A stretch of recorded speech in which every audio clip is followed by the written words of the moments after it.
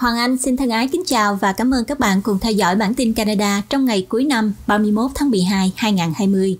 Thưa các bạn, đã một năm trôi qua kể từ khi các quan chức Trung Quốc ở Vũ Hán xác nhận họ đang điều trị cho hàng chục trường hợp mắc bệnh viêm phổi bí ẩn. Kể từ đó thì chúng ta đã theo dõi thế giới biến đổi khi loại coronavirus mới này tăng tốc thành đại dịch COVID-19, giết chết hơn 1,8 triệu người và lây nhiễm cho hơn 83 triệu người trên khắp thế giới. Khép lại năm 2020 đầy thử thách với một đại dịch và thiên tai, lũ lụt. Mong rằng năm mới 2021 sẽ tươi sáng hơn. Hoàng Anh cùng ban biên tập và nhóm thực hiện chương trình xin kính chúc các bạn một năm mới nhiều may mắn, an khang và thịnh vượng. Trong ngày 31 tháng 12 hôm nay, quy định xét nghiệm COVID-19 cho khách du lịch hàng không bắt đầu vào ngày 7 tháng 1. Các hiệu thuốc của Canada sẵn sàng tham gia kế hoạch tiêm chủng coronavirus. Bộ trưởng Tài chính Ontario từ chức sau khi trở về từ kỳ nghỉ ở Caribbean. Ontario trở thành tỉnh đầu tiên có hơn 3.000 ca COVID-19 mới trong một ngày. Quebec tăng tốc chiến dịch tiêm chủng, không dự trữ liều thứ hai – New Brunswick tăng gấp đôi tiền phạt lái xe mất tập trung vào năm 2021. Hai tàu tuần duyên ở Nova Scotia bị cách ly sau khi tiếp xúc với COVID-19. Giá vàng kết thúc năm 2020 đầy biến động với mức tăng mạnh. Sau đây là bản tin chi tiết.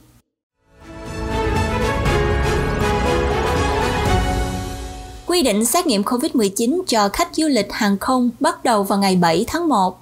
Bộ trưởng Bộ Giao thông Vận tải Mark Garneau cho biết, các quy định mới yêu cầu khách du lịch kiểm tra COVID-19 âm tính trước khi nhập cảnh vào Canada sẽ có hiệu lực vào ngày 7 tháng 1. Yêu cầu mới được công bố hôm thứ Tư, áp dụng cho tất cả các hành khách đi máy bay từ 5 tuổi trở lên. Theo quy định mới, khách du lịch phải nhận được kết quả âm tính với xét nghiệm phản ứng chuỗi polymerase PCR, xét nghiệm quấy mũi tiêu chuẩn trong vòng 72 giờ trước khi lên máy bay đến Canada. Ông Carnell cho biết có hai kết quả có thể xảy ra đối với những hành khách không đạt được xét nghiệm PCR trước khi khởi hành. Một là nếu họ chưa có kết quả xét nghiệm mà nơi đó có các phòng xét nghiệm, họ sẽ phải dời lịch khởi hành vì họ sẽ không được phép lên máy bay, ông nói. Mặt khác, nếu họ có thể chứng minh rằng không có cơ sở xét nghiệm nào thì họ có thể được cho lên máy bay. Những du khách có thể chứng minh rằng họ không thể làm xét nghiệm ở nước ngoài sẽ phải cách ly tại một cơ sở được liên bang phê duyệt khi họ trở về trong 14 ngày. Tài liệu về kết quả xét nghiệm âm tính phải được xuất trình cho hãng hàng không trước khi lên máy bay. Thời điểm của chính sách này sẽ giúp các hãng hàng không nước ngoài và trong nước có đủ thời gian để tuân thủ các yêu cầu mới. John Gerdeck, cựu giám đốc điều hành của Air Canada và là giảng viên chương trình lãnh đạo hàng không toàn cầu của Đại học McGill, cho biết Việc nhanh chóng đưa ra chính sách xét nghiệm mới có thể gây thêm áp lực cho mối quan hệ căng thẳng giữa chính phủ liên bang và ngành hàng không, vốn đang cầu xin một gói cứu trợ đại dịch. Quy tắc mới không thay thế thời hạn cách ly 14 ngày bắt buộc của Canada đối với du khách quốc tế. Ông Cono cũng cho biết hôm thứ Năm, chính phủ sẽ tăng cường nỗ lực giám sát để bảo đảm du khách tuân thủ các quy tắc Hình phạt nếu vi phạm có thể bao gồm 6 tháng tù giam hoặc 750.000 đô la tiền phạt. Lãnh đạo khối Quebecois Yves-François Planchet yêu cầu xét nghiệm nên áp dụng cho tất cả khách du lịch, không chỉ những người đến bằng đường hàng không. Trong một tuyên bố trên phương tiện truyền thông, ông cũng nói rằng chính phủ nên hoàn lại tiền cho những người đã phải hủy bỏ các kỳ nghỉ do đại dịch.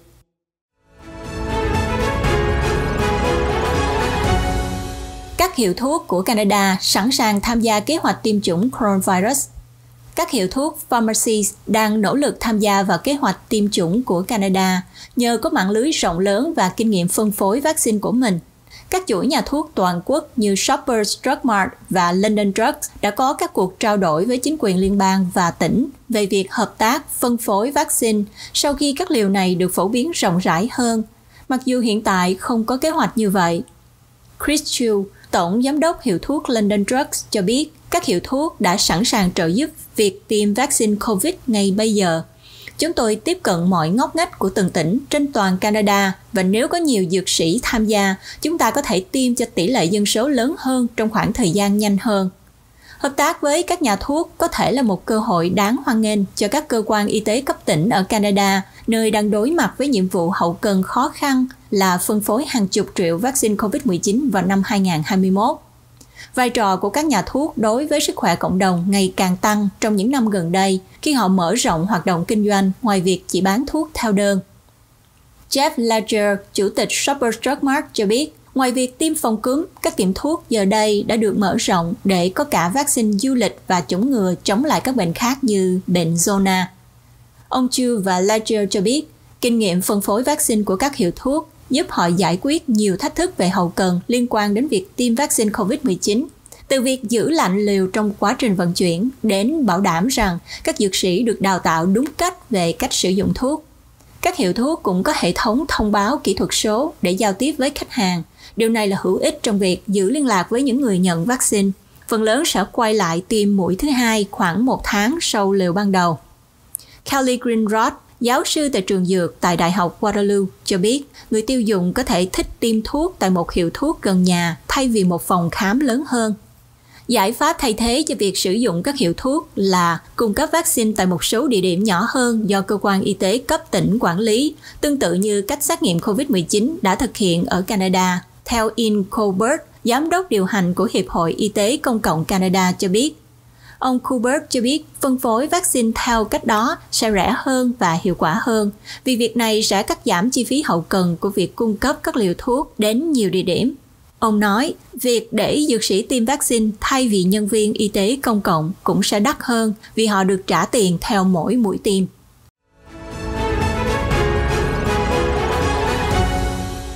Bộ trưởng Tài chính Ontario từ chức sau khi trở về từ kỳ nghỉ ở Caribbean. Bộ trưởng Tài chính Ontario đã từ chức sau khi trở về Canada từ kỳ nghỉ ở Caribbean, gây tranh cãi trong thời gian các biện pháp khóa cửa nghiêm ngặt trên toàn tỉnh, thúc giục người dân Ontario tránh đi du lịch không cần thiết. Thủ hiến Doug Ford thông báo hôm thứ Năm. Sáng sớm thứ Năm, khi đến sân bay Toronto Pearson, Bộ trưởng Rod Phillips cho biết Ông muốn tiếp tục công việc của mình nhưng sẽ tôn trọng quyết định của thủ hiến Ford sau những gì mà thủ hiến cho rằng sẽ là một cuộc trò chuyện rất khó khăn giữa hai người. Thủ hiến Ford cho biết Hôm nay, sau cuộc trò chuyện với Rod Phillips, tôi đã chấp nhận việc ông từ chức Bộ trưởng Tài chính Ontario. Ông nói rằng bất kỳ quan chức nhà nước nào bỏ qua các hướng dẫn COVID-19 của tỉnh là không thể chấp nhận được thủ hiến Ford yêu cầu ông Peter Badland-Folvey đảm nhận vai trò Bộ trưởng Tài chính và chuyển giao ngân sách năm 2021 của chính phủ. Ông Phillips, người sẽ vẫn là thành viên của cơ quan lập pháp tỉnh, cho biết ông mong muốn tập trung nỗ lực của mình vào việc tiếp tục phục vụ người dân Ajax với tư cách là thành viên quốc hội MPP của họ. Hai tỉnh Ontario và Quebec báo cáo số ca COVID-19 cao kỷ lục một lần nữa vào thứ Năm – khi tỉnh Ontario trở thành tỉnh đầu tiên trong cả nước có hơn 3.000 ca trong một ngày. Ontario đã báo cáo 3.328 ca nhiễm mới và 56 ca tử vong khác, nâng số người chết của tỉnh lên 4.530 người. Một số lượng kỷ lục bệnh nhân cũng đã nhập viện và phòng chăm sóc đặc biệt ICU vào thứ Năm. Hiện tại có 1.235 bệnh nhân đang nằm viện, trong đó có 337 người đang được chăm sóc đặc biệt ở ICU. Trong số các ca nhiễm mới được xác nhận, có 888 ca ở Toronto, 431 ca ở vùng Peel, 418 ca ở vùng York, 257 ca ở Windsor Essex và 194 ca ở Ottawa. Bộ trưởng Y tế tỉnh Christine Elliott khuyến cáo mọi người chỉ nên đón giao thừa với những người trong hộ gia đình của mình. Tỉnh Quebec trong khi đó báo cáo thêm 2.819 ca nhiễm mới và 62 ca tử vong – Số ca nhập viện là 1.175 ca với 165 người trong khoa hồi sức tích cực. Theo mô hình mới từ chính quyền tỉnh, các bệnh viện ở Greater Montreal đang hoạt động trong tình trạng nguy hiểm và có thể hết công suất cho bệnh nhân COVID-19 mới trong vòng 2 hoặc 3 tuần. Báo cáo mới nhất từ Viện Y tế và Dịch vụ Xã hội INES chỉ ra nguy cơ hơn 50% rằng công suất giường bệnh hiện có cho bệnh nhân COVID-19 ở khu vực đô thị lớn nhất của tỉnh Quebec sẽ cạn kiệt trong 3 tuần. Tính đến 6 giờ tối ngày 31 tháng 12, Canada báo cáo thêm 8.413 ca COVID-19 mới, nâng tổng số ca COVID-19 của Canada lên mức 581.395 trường hợp. Trong số đó có 74.826 ca còn bệnh, số ca tử vong là 15.606 ca. Tỉnh Alberta, tiến sĩ Dina Hinshaw báo cáo ước tính khoảng 1.200 ca nhiễm COVID-19 mới trong bản cập nhật sơ bộ vào trước năm mới. Một bản cập nhật khác sẽ được chia sẻ vào ngày 1 tháng 1. Alberta cũng trở thành tỉnh đầu tiên chính thức cho biết NHL có thể thi đấu trên đấu trường của mình cho mùa giải sắp tới. Trong một tuyên bố với Canadian Press hôm thứ Năm, chính quyền tỉnh cho biết họ đã chấp thuận cho Edmonton và Calgary thi đấu vào ngày 25 tháng 12 sau khi xem xét các giao thức được nêu trong kế hoạch trở lại của giải đấu, cùng với một số cải tiến bổ sung. Xác nhận đó là xác nhận đầu tiên từ bất kỳ tỉnh nào trong số 5 tỉnh có đội NHL kể từ khi Phó ủy viên Bill Daly tuyên bố vào ngày 24 tháng 12 rằng liên đoàn tin rằng họ có thể chơi trò chơi ở tất cả 7 thị trường của Canada. Tỉnh BC báo cáo thêm 683 ca nhiễm mới và 8 tử vong, với 374 người hiện nhập viện và 76 được chăm sóc đặc biệt. Tỉnh Manitoba, các quan chức y tế công bố 187 ca bệnh mới và 6 tử vong. Tỉnh Saskatchewan đã ghi nhận thêm 190 trường hợp mới và một ca tử vong. Nova Scotia công bố 3 ca nhiễm mới. Các nhà hàng và quán bar ở khu vực Halifax và hạt Hants County sẽ có thể mở cửa trở lại vào tuần tới do số ca bệnh thấp sau những ngày lễ. Newfoundland thông báo ngày thứ hai liên tiếp không có ca mới nào. Bộ Y tế New Brunswick báo cáo một ca tử vong và ba ca bệnh mới vào thứ Năm. Ba ca này đều ở vùng Fredericton. Vùng lãnh thổ Tây Bắc đã bắt đầu chiến dịch tiêm chủng vào thứ Năm. Cư dân và nhân viên của Viện dưỡng lão Jimmy Erasmus ở Bechoko và Event Manor ở Yellowknife là những người đầu tiên tiêm vaccine Moderna.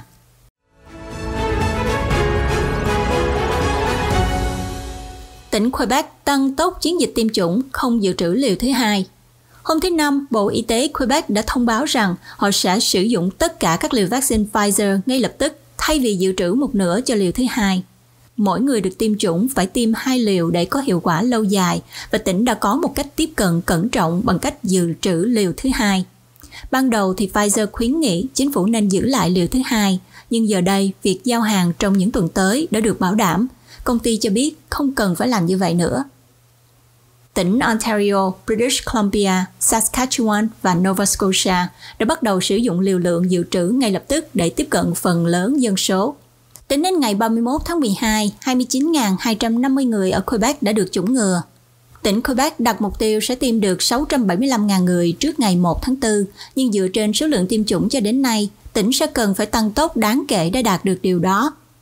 Cho đến nay, số người đã được tiêm vaccine COVID-19 ở Canada là 90.487 người, tức khoảng 0.238% dân số. Số lượng người được tiêm vaccine COVID-19 ở các tỉnh như sau.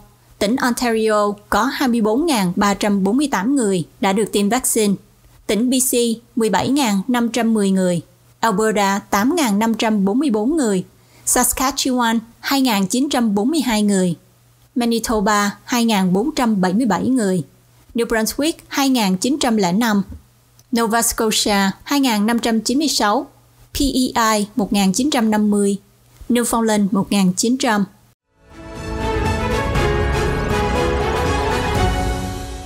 Giám đốc Y tế Canada cảnh báo người Canada về việc uống rượu quá đà trong thông điệp cuối năm – vào những ngày này, khi người dân uống nhiều rượu, Giám đốc Y tế Công cộng của Canada một lần nữa yêu cầu người dân nên uống ít lại khi lật tràn sang năm mới. Bà Theresa Tam nói rằng, khi năm mới đến gần, nhiều người trong chúng ta sẽ tìm cách ăn mừng. Đối với một số, những lễ hội này sẽ bao gồm việc phục vụ và uống rượu, trong khi những người khác có thể cảm thấy mùa này khó khăn hơn do xa bạn bè và gia đình. Trước đây, bác sĩ hàng đầu của Canada đã cảnh báo về việc tiêu thụ rượu nhiều hơn trong thời kỳ đại dịch. Các báo cáo cho rằng sự gia tăng uống rượu vào đầu năm nay là do cảm giác buồn chán do đại dịch gây ra, căng thẳng gia tăng và thiếu hoạt động thường gặp. Bà chỉ vào các hướng dẫn về giảm nguy cơ từ rượu do Trung tâm Sử dụng chất gây nghiện Canada đưa ra. Trong đó bao gồm thông tin về kích cỡ đồ uống tiêu chuẩn và các giới hạn được đề nghị hàng ngày và hàng tuần. Đối với những dịp đặc biệt, hướng dẫn khuyên không nên uống quá 3 ly đối với phụ nữ và 4 ly đối với nam giới.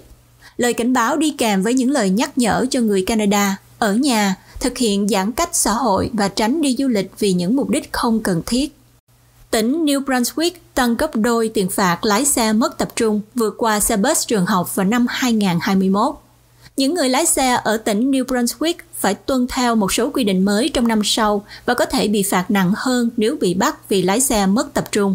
Chính phủ đang tăng gấp đôi số tiền phạt lên 280 đô la cho những người tài xế bị kết tội lái xe mất tập trung và lên 480 đô la cho những tài xế vượt qua xe bus của trường khi đèn đỏ đang nhấp nháy.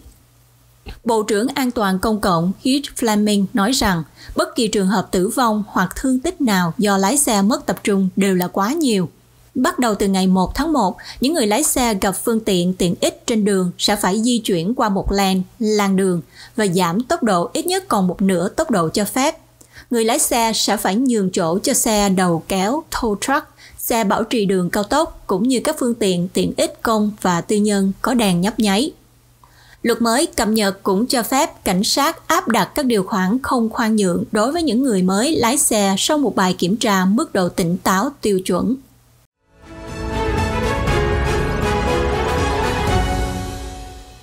Hai tàu tuần duyên ở Nova Scotia bị cách ly sau khi tiếp xúc với COVID-19. Đợt thử nghiệm COVID-19 thứ hai đã được lên kế hoạch vào thứ Năm cho thủy thủ đoàn của hai tàu cảnh sát biển Canada đang bị cách ly ở Dartmouth, Nova Scotia. Lực lượng bảo vệ bờ biển cho biết tất cả 44 thành viên thủy thủ đoàn của CCGS Jean Goodwill và CCGS Hudson có xét nghiệm âm tính ban đầu vào ngày 24 tháng 12 sau khi họ tiếp xúc với một nhà thầu đã làm việc trên tàu có kết quả dương tính với COVID-19. Lực lượng bảo vệ bờ biển cho biết lần kiểm tra thứ hai là tùy chọn, đồng thời cho biết thêm rằng tất cả các thành viên thủy thủ đoàn đều được cách ly trên tàu hoặc ở nhà. Đoàn đang được yêu cầu cách ly khỏi gia đình và bạn bè cho đến ngày 6 tháng 1. Chris Percy làm việc trong công đoàn đại diện cho hầu hết các thành viên thủy thủ đoàn cho biết sự bối rối ban đầu về việc tàu nào đã tiếp xúc với ca dương tính dẫn đến việc một số thành viên được thả với suy nghĩ rằng họ không cần phải cách ly. Ông Bussy cho biết, trong khi cách thông tin được đưa ra gây lo lắng, ông không đổ lỗi cho lực lượng bảo vệ bờ biển và nói rằng việc giảm nhân viên vào kỳ nghỉ có thể có vai trò trong sự nhầm lẫn này.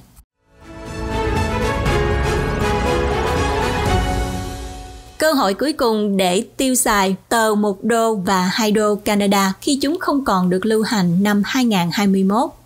Người Canada đang giữ tiền giấy cũ, có đến nửa đêm để tiêu chúng vì các cửa hàng sẽ ngừng nhận những tờ tiền này sau năm mới. Một số tiền giấy được sản xuất từ năm 1935 đến năm 1986 sẽ mất giá trị pháp lý vào lúc nửa đêm.